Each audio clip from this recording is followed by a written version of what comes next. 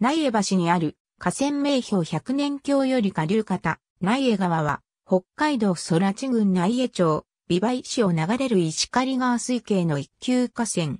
美梅市の美梅山西側斜面に水源を発し、内江町との境界を流れる。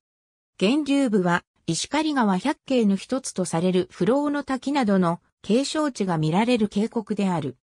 北海道道529号島内江、内江停車場線が並行し始めると、内江町に入り、東内江の廃対港集落を進んでゆく。道央自動車道を越えると、平野部に入り、北海間専用水路の下を抜けて、内江市街地南部を進む。市街地を抜けると、内原野を蛇行し、支流の茶市内川を合わせて間もなく石狩川へ流入する。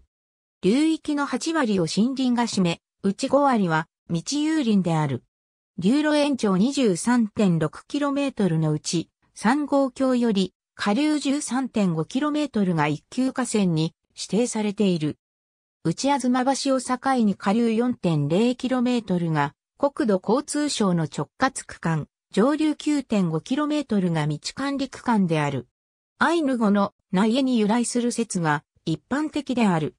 苗などにた地名は北海道各地に存在し、具体的な名で示されずに呼んだ、この形がそのまま残ったものとされている。なお、長田地名会では語源を苗としている。直轄区間では、川口付近の稼働変更と築堤が行われ、1983年に堤防が完成。現在は中流部の築堤改修が進められている。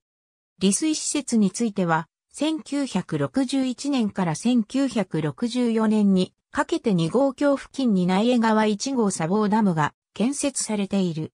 ありがとうございます。